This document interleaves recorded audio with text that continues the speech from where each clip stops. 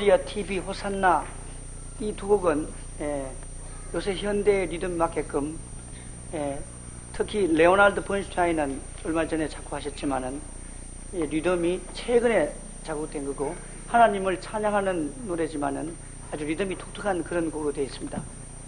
땅 위에서는 하나님께 영광이요 그런 뜻입니다.